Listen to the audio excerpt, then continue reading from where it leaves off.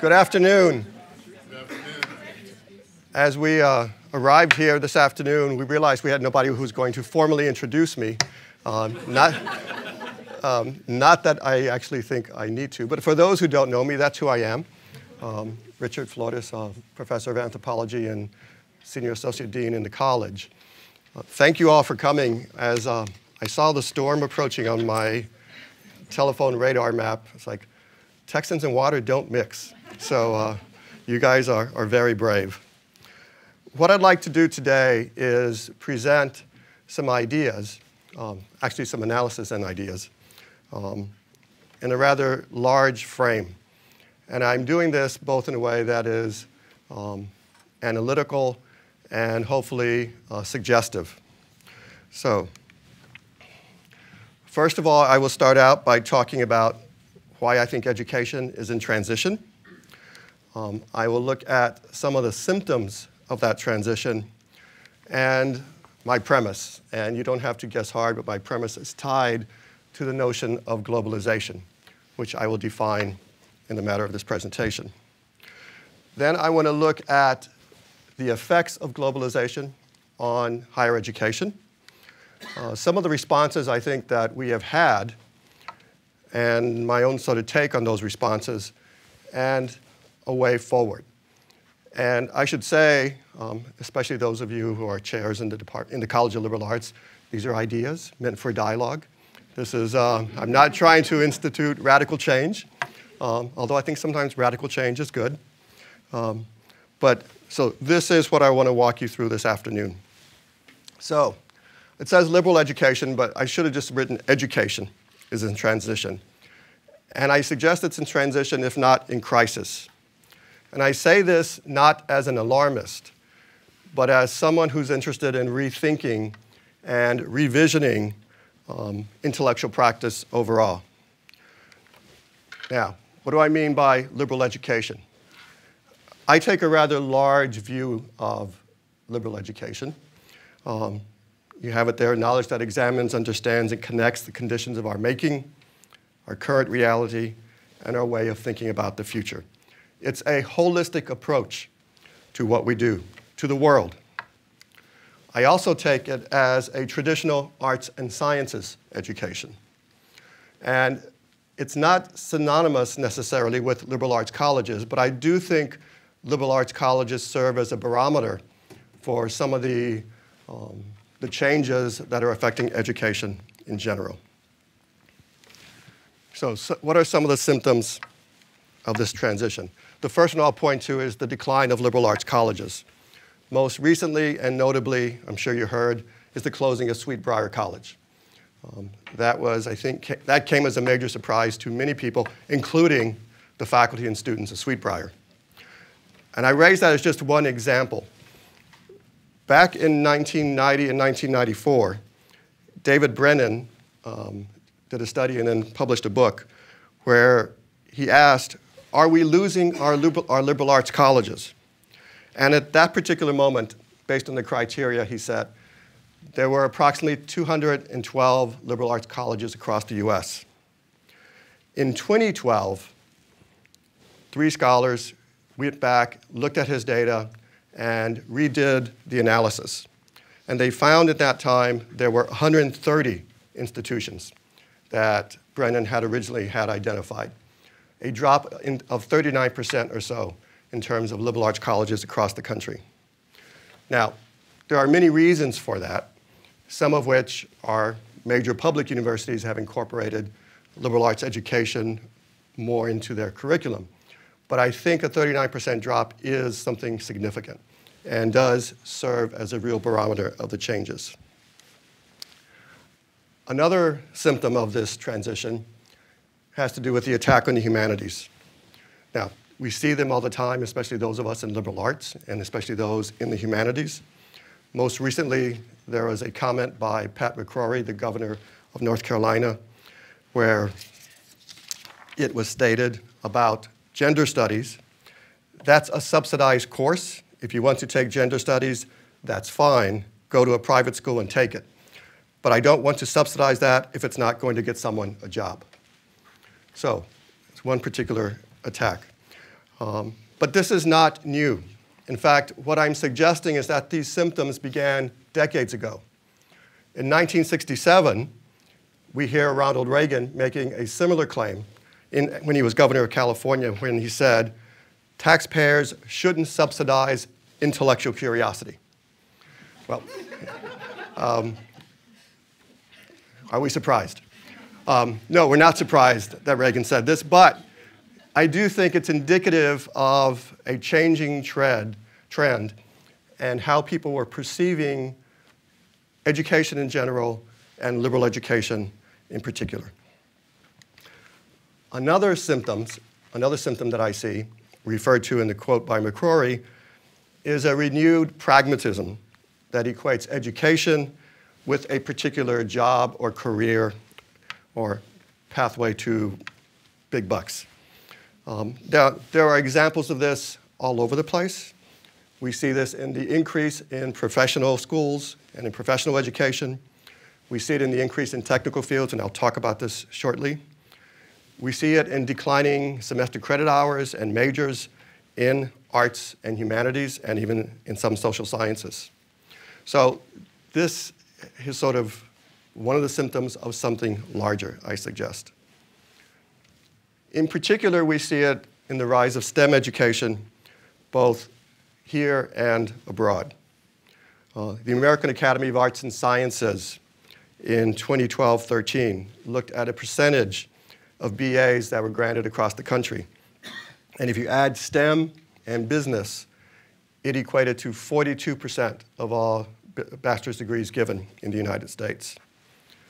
That same data shows that BAs in the core humanities, and here they define core humanities as the um, sort of traditional English, literature, philosophy fields. Um, it had fallen in 2012-13, 2.4%, and it was the third straight year in a row that those percentages had fallen. As a percentage of all BAs, bachelor's degrees fell 6.5%, fell to 6.5% in 2013 if you're looking at core disciplines. They also look at what they call CIP data, which is a bit more inclusive, that includes gender studies and area studies. But even there, the number of BAs as a percentage of all degrees given was only at 10%. You then have certain proposals, not to say that these have been funded, that have emerged over the last few years, as in the state of Pennsylvania, where the State House put together a bill to actually subsidize STEM education so that it was cheaper for students to get a STEM-related degree. And you have folks, folks like Andreas Schleicher. If you don't know who um, Andreas Schleicher is a, is a policy wonk. He works for the Organization for Economic Cooperation and Development, has done a lot of work on looking at these kinds of issues. And he basically commented and said, everybody knows that STEM is the better investment. Government knows that. Parents know that. One example of this um, internationally is China had, has announced recently they will be um, investing $1.6 trillion over the next decade to support programs in biotechnology, alternative energy, and information technologies. Now, they're also invested in liberal education as well. But I think here what we see is the trends are up. Um, and so, if anything, as I said, education is, trend, is in transition. I, I, don't want to sound as an alarmist, but the trends are up and moving. Um, STEM numbers are increasing. Numbers in humanities fields, for the most part, have been decreasing. And we see similar results if you look at the Middle East and North Africa. And I won't spend a lot of time on this because that's not a real focus here, but just to give you a few examples. As, a, as an expenditure, um, uh, why this, this region is important. As a public expenditure of the entire government budgets, the Middle East and North Africa is spending 19% of their budget on education. North America spends 14%, and the OECD average is at 14% as well. So the Middle East is investing millions and millions of dollars in higher education. much of it is going into technical education. Now, this is some data that is not the latest, but in Oman, for example, um, if you look at field of study, and this is data put together by the Ministry of Education and the World Bank, in 2008, literature, arts, and social science degrees were at 6%. STEM degrees were at 37%, and education at 40%. So the trends are moving in a particular direction here. Now, why am I concerned for STEM besides being a dean in the College of Liberal Arts? Okay? Um, for one, the amount of funding going to STEM. The Obama administration, as you know, NSF, um, state incentives, for example, in California, um, California is, has a huge investment in STEM education, as well as private industry numerous you know, corporations are putting funding into STEM education. Hewlett Packard, Honda, others, okay? But also the amount of funding going to STEM education at K-12, okay? So people are putting, corporations are putting, governments are putting a large amount of money into this particular field. Now, I should say, I should say, especially for my science colleagues in the audience, um, I'm not against science, technology, engineering, or math. That's not the issue. What I am concerned about is I think a focus solely on STEM, and I know I'm biased, but I think it's, it's, it's only a partial education. It, it, deal, it doesn't deal with what I might call adaptive challenges society is facing. It deals with technical challenges society is facing. And by that, I mean, open up the front page of the New York Times most days of the week. And sure, you're going to have articles related to science, for sure, but it's really the intersection of science with society. The problems we are facing are not just, cannot be solved or addressed just through a science or technical education. We need people who know something about the world. Now, another part of my bias is I am concerned about the influence of external research money on the academy. And I know universities, UT in particular, has very strict rules on how money that's brought into the university relates to research.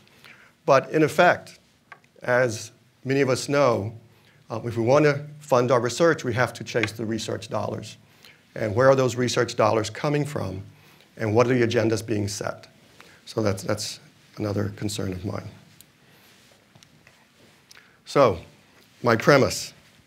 My premise is that these symptoms that I've just been talking about are the result of a more fundamental cultural shift I want to refer to or I want to talk to as globalization. What do I mean by globalization? Um, you can read my definition. It's a set of practices, ideas, and economies that have led to the disruption and reformation of markets, technologies, and rituals that shape our behavior. Now, one very small example, but one that many people, when it first started happening, became very much aware of and began to study, is just the whole issue of transnational labor. Now, again, it's not that this is a new issue. I think what people are concerned with in globalization is the speed at which it's happening and the breadth at which it's taking place. So instead of isolated immigration that we've had in terms of historical immigration patterns, we're talking about real transnational labor flows, and that's just one example. But in short, we're talking about a new dominant cultural logic. And it's this piece here that I actually want to spend some time with and that I am more deeply concerned about. And if you will allow me, I'm going to spend a little bit of time re reading through the following text because I think it, um, it is helpful, at least for me, to make sure I get this um, and say it the way I want to. So the following comments stem from the general description um, of, and we can use many phrases here, many terms, but the general description of postmodernism by Fredric Jameson in his book, Postmodernism or the Cultural Logic of Late Capitalism. And while this book was written early in what we have come to know as globalization, Jameson's discussion continues to lay both descriptive and analytical claim to my understanding of this phenomenon. Let me begin, however, by returning to my earlier definition of globalization and offer why, in describing its features, I invoke Jameson's notion of postmodernism. The two are not synonymous, but they are clearly intertwined. My definition of globalization describes what we might refer to as the effects of this cultural moment. That is, the reformation of markets, technologies, and labor, globalization, are themselves the effects of a particular view and engagement with the world. That view of the world is itself understood by articulating the culture underlying it. Whether we call it postmodernism, late capital, neoliberalism, it doesn't matter, I don't think. I'm interested in the experience that people are going through and the experience and values that shape particular people's particular actions. I use this approach to examine the features of education since, as an institution, it is, it is cut from the same cultural cloth as the wider society. Education generally, and liberal education specifically, wanes and flows in the cultural milieu of the larger social order as both a product and producer of various forces and ideas related to this cultural moment. Although, as you certainly know, as an institution, education is somewhat unique. It is where we see a set of practices aligned more broadly along a continuum of what Raymond Williams refers to as emergent and residual forms. That is, one of the reasons, or and I suggest that one of the reasons there is so much attention paid to, higher, to reforming higher education, the tenure system, and other features unique to university life is that the ideologues of globalization see its presence as a stark reminder as an institution out of alignment with this dominant cultural logic. In this presentation, I want to focus more specifically on the relationship between education and the cultural logic of globalization. But first, let me sketch some general features of this broader culture. The first feature I want to refer to, and these are general descriptions that Jameson, artic Jameson articulates, and I'm going to shape them into my own interpretation, is depthlessness. By this, I refer to a receding of social engagement, where sociality skates across the surface of our interactions, landing everywhere but in no place in particular for a long time. In other words, there is a loss of long-term rooted experiences that shape human consciousness. This was first commented on more broadly in the changing dynamics of labor. Long-term employment where workers, blue and white collar alike, spend most of their careers with, one, with one employer is a thing of the past, as we well know. Yes, there are exceptions, but it's no longer the norm. Its analog, I offer, is found in social media. Even the term social media reflects a kind of fluidity not found in earlier forms of sociality. Facebook, Twitter, Instagram, all of which I have, um, and other social exchange forms serve as the new normal by which many interact, digitally, publicly, laying bare portraits of themselves once revealed to only a sector of their social network. The common thread here is social movement instead of long-term placement, and a preponderance for surface-level interactions instead of deep social engagements. Related to this is what Jameson refers to as the disappearance of the individual subject, or the waning of personal feeling and style. Two ways of thinking about this. The first I first read about um, in a book that I found quite influential, at least to me personally, uh, and that was Susan Cain's book, Quiet. In here, she talks about the culture of character versus the culture of personality.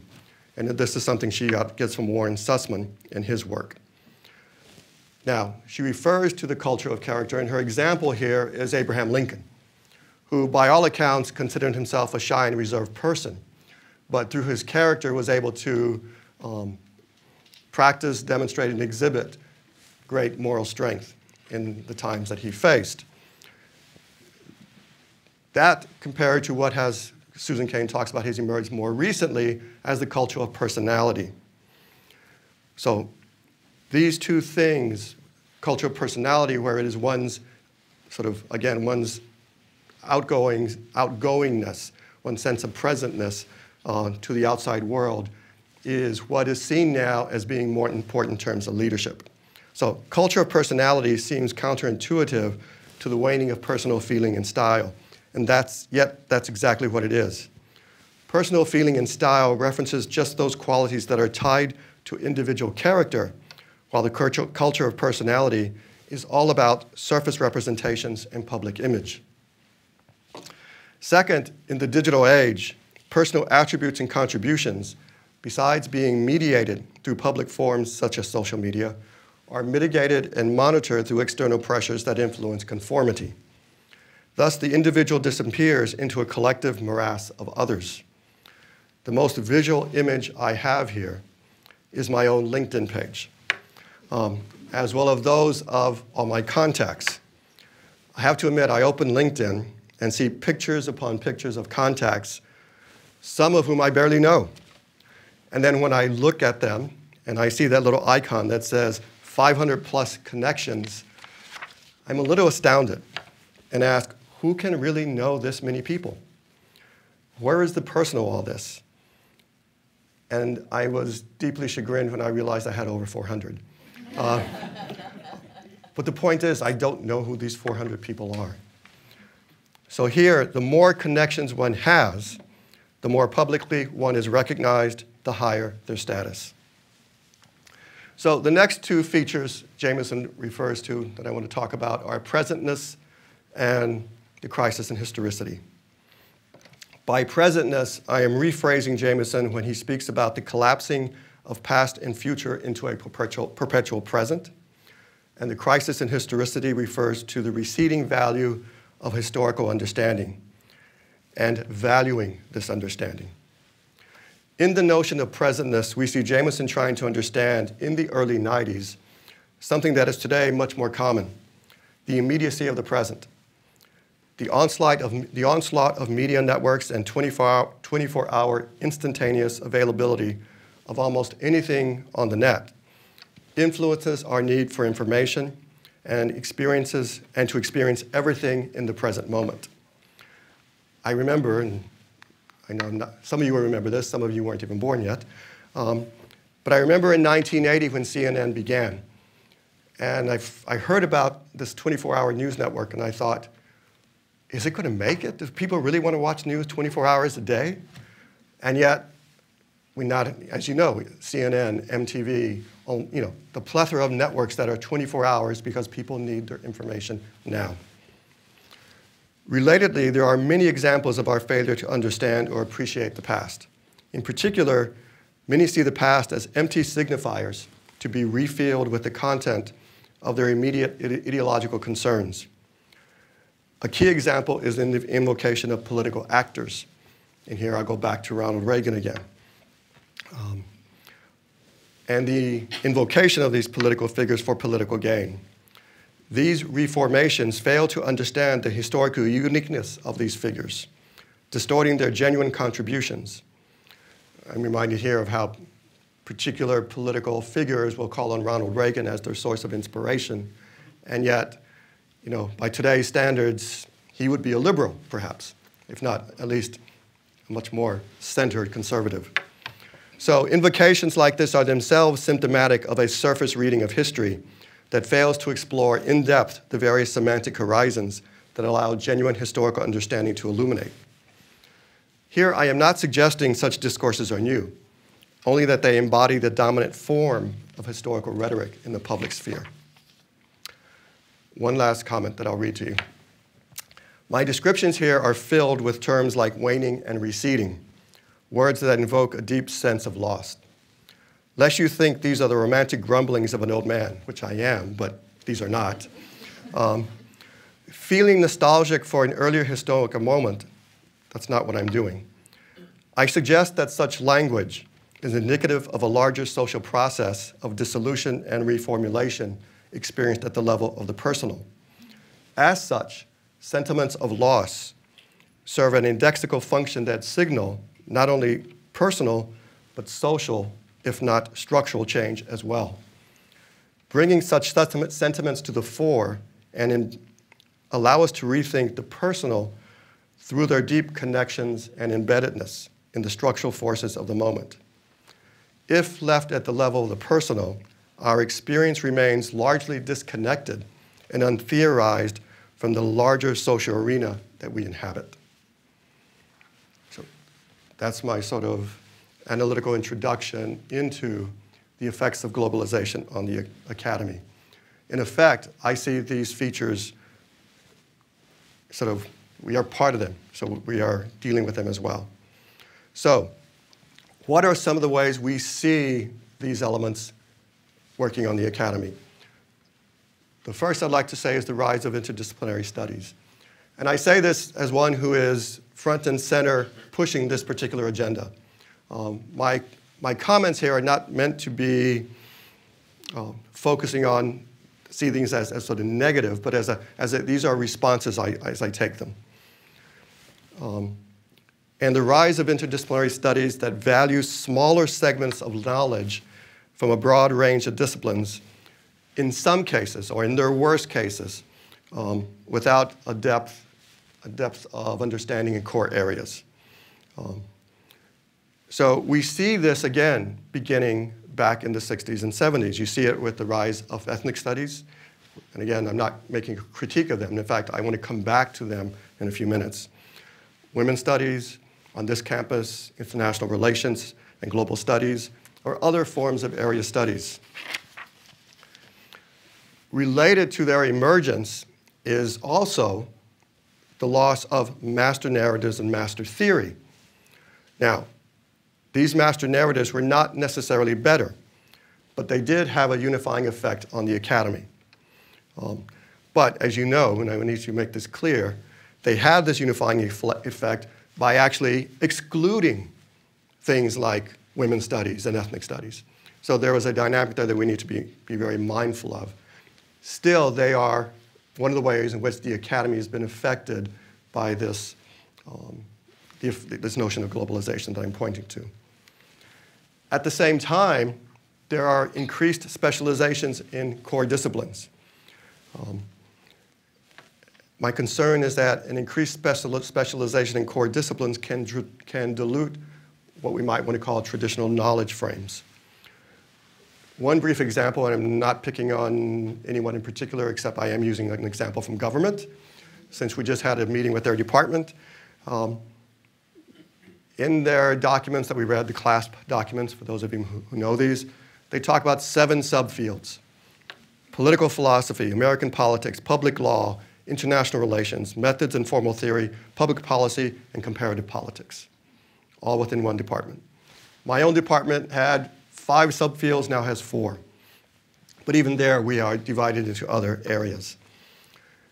So what I'm pointing here, pointing to here is that in some ways our curriculum has moved in a way that's almost too broad, but in some ways it's also moved and constructed too narrowly. More importantly, I see a continued dissolution of arts and sciences education, where the value of the other is diminished. And we usually see this in the name of specialization. And I'll come back to some of this in a, in a few minutes. Something we all know very well here is the increase in requirements. Okay, um, UT has a 42-hour mandated state core. We have university general ed requirements that, for the most part, overlay that, but not always. We have college requirements that you can blame me for. We have major requirements. We have flag requirements. And we will soon have transcript recognized minor requirements. Okay. Interestingly, if you begin to look at those, the state core, university requirements, flags, college requirements are all about breadth. The major is the only thing we have left that is actually trying to deal with depth. We also see an increased demand for specific credentials. In fact, the whole rise of the transcript recognized minors came out of this. Um, and if you know, undergraduates, one credit for everything they do, right? whether it's working at HEB or interning someplace for the, at the Capitol. Um, the rise of credits and microcredits and badges, we don't have that yet here, but some institutions do. There is an increase in requirements that suggest that we need to objectify our understanding with these particular credentials. Increased emphasis on data analytics. Need I point to SACS and no further? Um, the amount of data analytics that we are asked to look at and collect and the amount of time that we're asked to spend on these. Okay. Um, my concern is not with data in particular. Um, it's, it's my concern with large data at the expense of more qualitative, nuanced information, especially when we're looking at teaching and learning. It's really hard to quantify that with any kind of subjective data. So, and one I know you're very, very familiar with this, familiar with is the corporatization of the academy. In effect, any of these things up here, we can spend, you know, whole days discussing and analyzing. But in terms of the corporatization of the academy, we can look at for-profit universities, MOOCs that have turned some professors into commodities. Um, those of you who were here a few years back remember the seven-step solutions that was being proffered by folks, um, certain regents uh, on our board. In particular, the way in which they were discussing faculty merit pay based on student evaluations, and their whole discourse of the student as customer. Um, the rise of pragmatism that I spoke about earlier, and the rise of what Marilyn Strathern refers to as audit culture, the increasing role of review, assessment, and risk-averse practices in the academy. You know, those of you who travel internationally, if you're doing IRB approvals, grant regulations, and now contracts. Okay, the kind of scrutiny that is going into all of these features. Okay. So what's the overall effect of this? What does this tell us about the state of education today?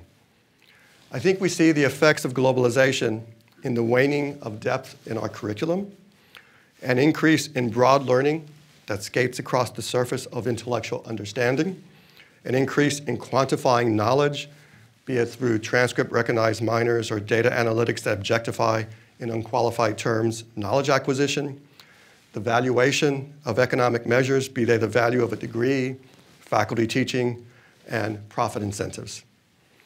So, if a liberal education, at least in my understanding, a unified arts and sciences education, is, is at its core holistic, is it surprising that society at large misunderstands the worth and potential of what this education is about? Is it any surprise that students don't understand how and why studying philosophy and language and science and culture in unison will benefit them? We're working, we're working against the cultural logic of our time. And I think this is something that we need to spend a lot of time thinking about and analyzing. But I'm equally concerned with the effects of globalization inside the academy and how it has led to this dissolution of an arts and sciences education. I believe that arts and STEM fields, whether it's humanities, social sciences, other kinds of arts education, no longer know how to engage each other. Um, the inability of us to be able to talk across these disciplines. And I'd um, like to read um, a quote. There is a, a, document that the American Academy of Arts and Sciences put out um, in 2013 called The Heart of the Matter. It says, that the very moment when China and some European nations are seeking to replicate our model of broad education in the humanities, social sciences, and natural sciences, we are instead narrowing our focus and abandoning our sense of what education has been and should continue to be.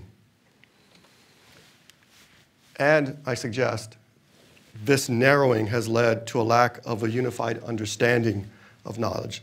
There's been a breakdown in what I think of as holistic thinking.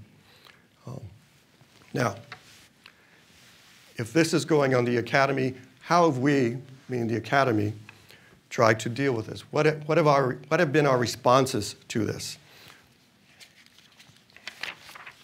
Well, I think we've, we've, we've responded to these issues in various ways. One is internships.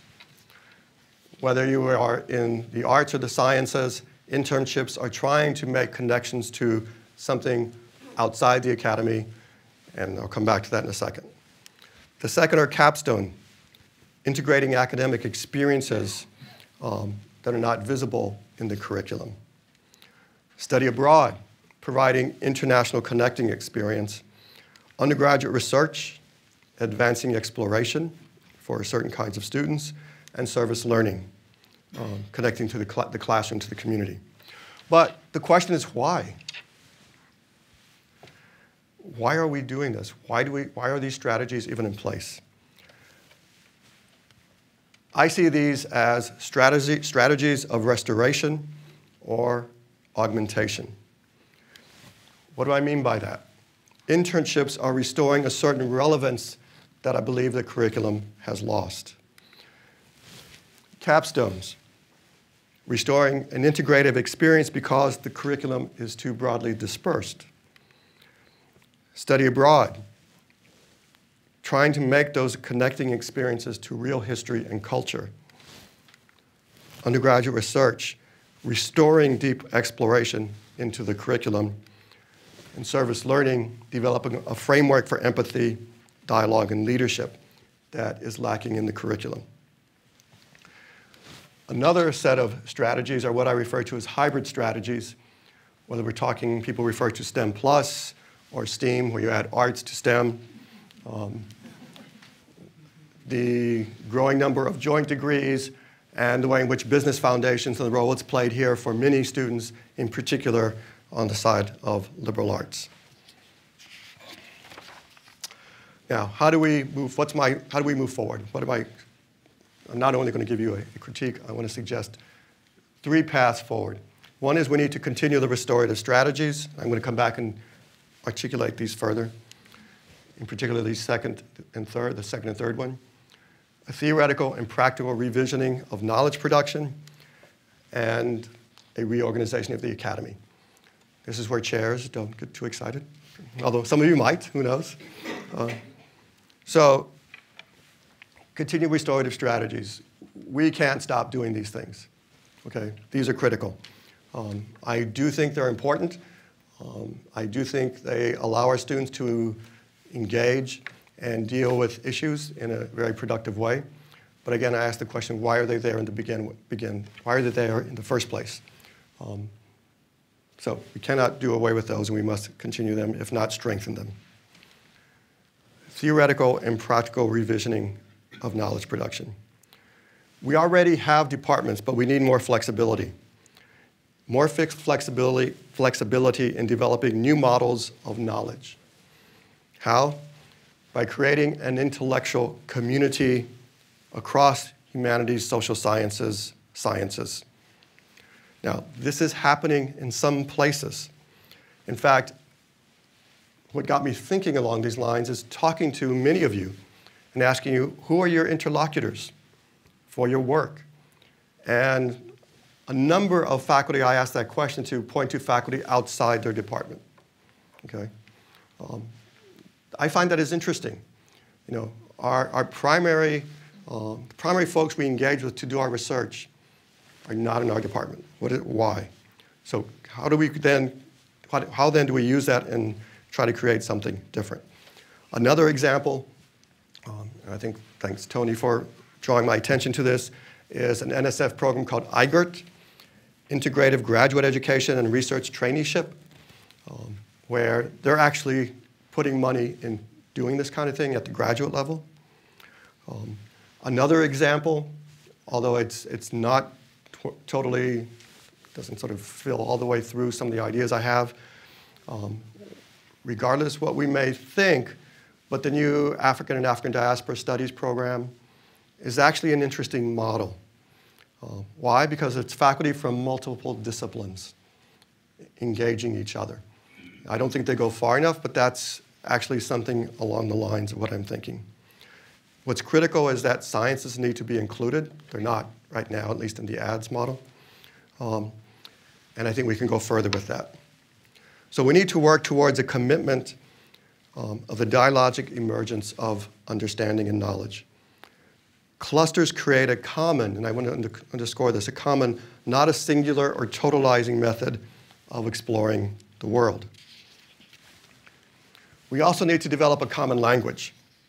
Um, I was talking to Elizabeth Keating, who's here, um, yesterday afternoon, and she was telling me of a particular research, research group she's part of, where you had scientists and humanists and social sciences, and they actually could not carry on an academic dialogue.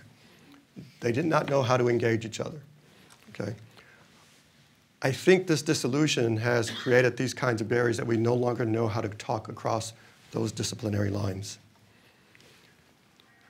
And producing a, meth- a multidimensional yet unified methodology born from the real work that goes on in these academic research units, whether we call them clusters or whatever.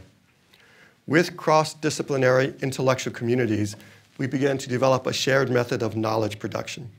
But the method has to emerge from the work itself. It can't be theoretical or hypothetical. Again, from that document, um, The Heart of the Matter, that the American Academy put out, they're talking about undergraduate education here, but they make the following claim. Interdisciplinary research centers, which often stand at the crossroads of the arts and sciences, offer opportunities for undergraduates to take direct role in exploration and to bring the parts of their study into a coherent whole. I think that's what we're missing, and that's what we need to be look, looking at, and that's what I want to point to. So the presence of these communities, these clusters, whatever we call them, doesn't assure success, but puts in place conditions of possibility for the reorganization of knowledge formation by creating conditions for holistic academic work, including the theorizing around that work itself. Reorganization of the academy. I actually think the academy needs to, in terms of its organization, needs to follow the flow of the work being done. So the first step is alternative organizational structures. Um, alternatives to departments, not necessarily in place of them, um, that have the flexibility. And by these alternative structures, I mean alternative structures that have real FTEs attached to them. So whether they are research units, research clusters, or multidisciplinary across these fields departments, um, places where academics can do their work and that tenure homes are located. Um, allow these new units to organize around problem-based, thematic, interdisciplinary issues or questions. Now, I take theoretical questions as also being real problems. I'm not suggesting these have to be dealing with sort of real-world issues, because I actually take, think theoretical work is actually real work issue, real-world issue. But one example might be the study of immigration. What would a, the product of a research group that looked at the issue of immigration, if it had people from public policy, people from international law, people from health, people who looked at security, culture, psychology, the influence and the effects on family, literary and expressive cultural forms related to this experience. How does this give us a sense of a different picture of what this issue is about? And then I would let the way in which this kind of work emerges shape the internal organization of the academy. And I would actually reform the undergraduate curriculum around these kinds of initiatives.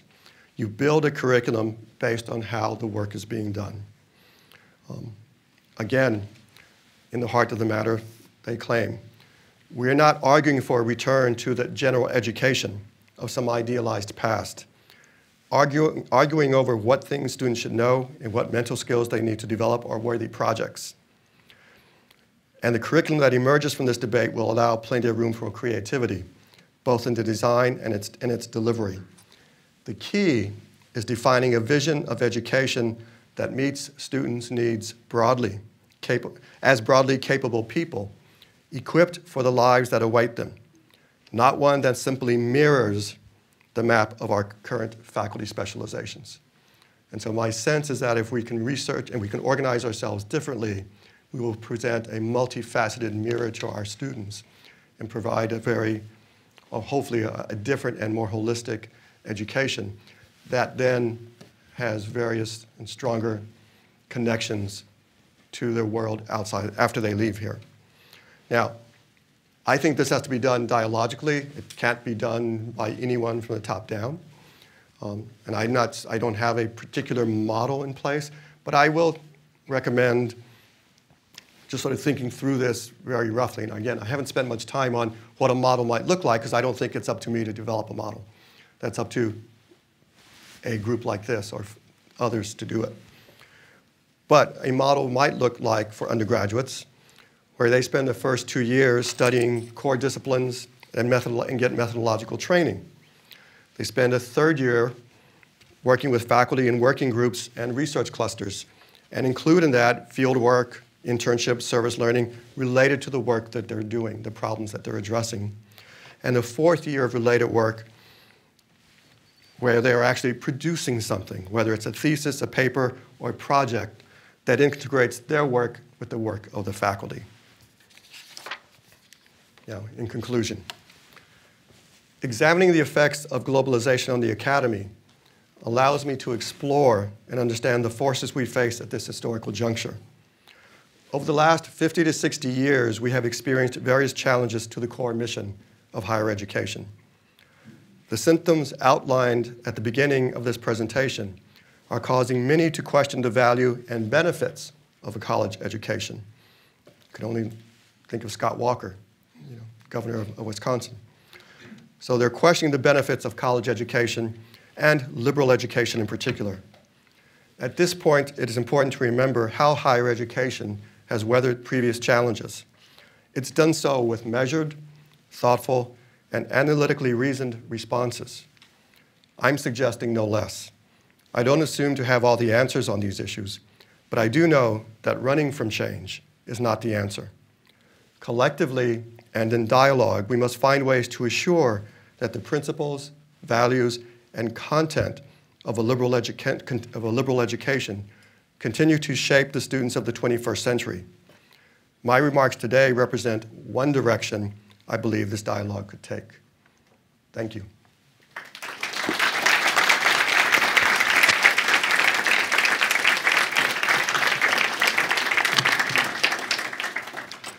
So I think we have some time for questions, especially if it's still raining out there. Yes. Thank you, Richard, for an extremely interesting and thoughtful presentation. I am really struck by the combination of big problems that you identified the depthlessness, the focus on personality rather than character. Somehow, the way our curriculum has depth without hol- holism and specialization without, um, sorry, breadth without holism and specialization without real depth. And I'm wondering if there's another piece of what we need to be doing to address this, in addition to all the ways of integrating learning and sending students out into the real world and sending students abroad, that isn't really important, which would have to do with trying to restore the holism at the deepest level in terms of engaging students with big questions in a really sustained way. And I wonder what you think about how we if you if you agree that that's also missing and, and how we could restore that or do it differently and better than we have in the past. I do agree it's missing. Um, as you know, the challenges we at an institution like this face are just sheer size, right? And resources. Um, if we could um, have smaller classes and do this in a more concerted way, yes, that would answer a lot of problems. The challenge is how do we do that at, in, at an institution like this? Um, uh, again, I don't have an answer for that. I think, well, one response might be, um, at least in the College of Liberal Arts, if we had fewer requirements that moved us across the plane laterally and allowed us to develop more depth, it would help. It's not a solution, but it would help. Uh, but I think we are challenged at an institution like this to find a way, but that doesn't mean we can't. Okay? Yes, Bob. Richard, I know this is a concern of all of us in liberal arts, all the things you talked about. I'm wondering whether you have found sympathetic ears in natural sciences and computer sciences and communication and fine arts even, I mean, which is certainly a loss to us, just the distance between the two colleges. Whether, in other words, uh, you think this is a general feeling, um, or something that because we do liberal arts, we're feeling uh, in particularly uh, the loss? I can't answer specifically for the natural sciences. David is here from the College of Natural Sciences, and I won't try to speak for him or put him on the spot. I have talked to several in natural sciences who I think would share a similar sentiment. Um, in some way, I see their Bachelor of Science in Arts as a way of trying to think this through, okay? Um, and, but, you know, from my perspective, it, it's, it's an attempt to think it through, but without engaging really the, sort of the thought leaders on the liberal arts side and how we can do this together.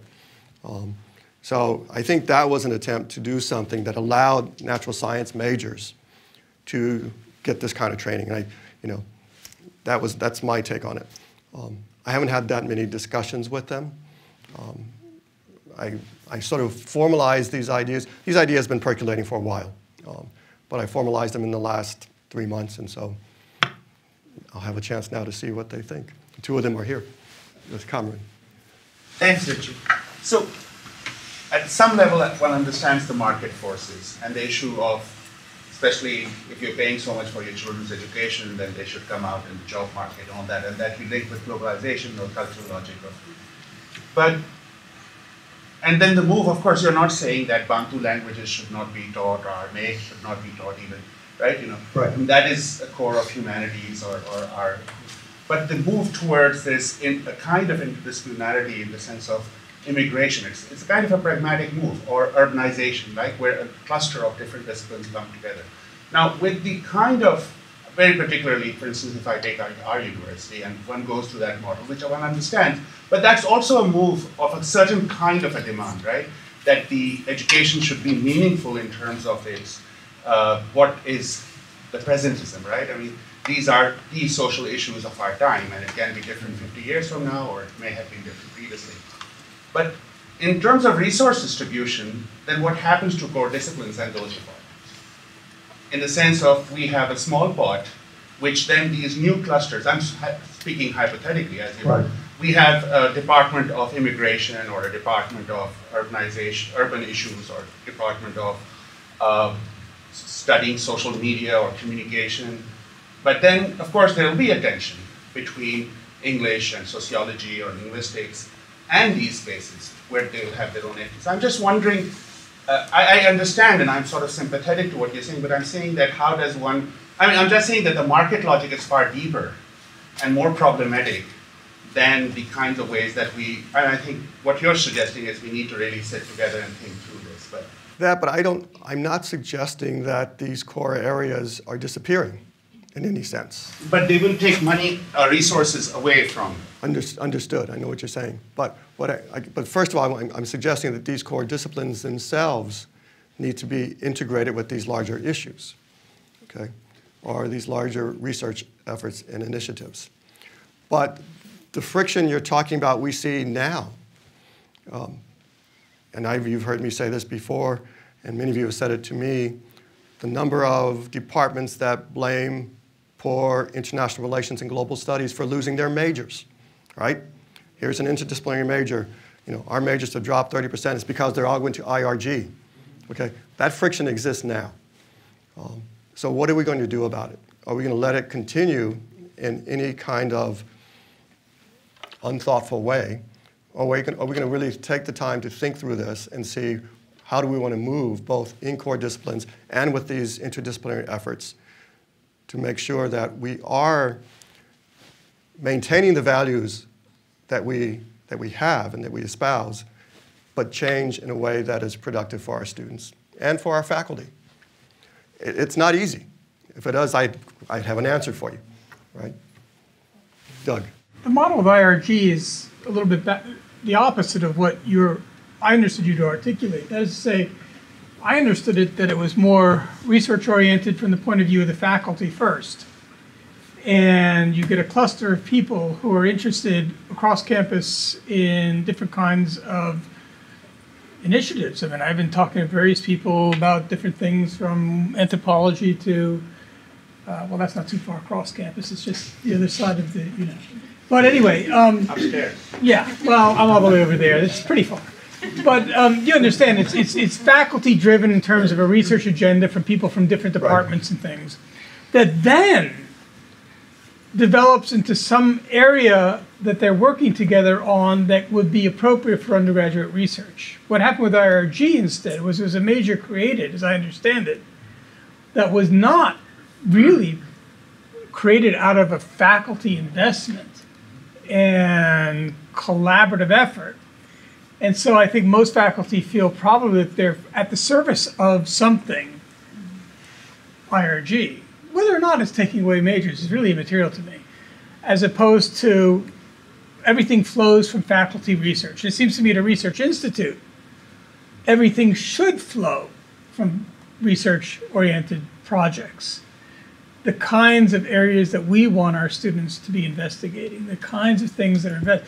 The problem that that that um, that Kamran articulated is in another. You described having FTEs in these areas, and that becomes, I think, part of that market logic problem. That is to say, Sure. Well, FTEs in any area today is a problem, right? well, for us, the fact that we have too many of them, according to the, the, the college. But I, what I'm saying is, you then start thinking about these research clusters, and you want FTEs in those research clusters. Is they're typically grounded in departments. That's the function of departments as opposed to interdisciplinary studies. I understand that some area studies right, have FTEs in them, but that's the problem because you started thinking we're going to take people from history, psychology, anthropology, math, put them together, we'll have a research cluster because they're invested in, but then at some point hire an FTE in that cluster area, but typically you house them in those. In effect, we've done it. Okay? When I was hired here back in 97, I had 50% of my appointment in the Center for Mexican American Studies. Okay?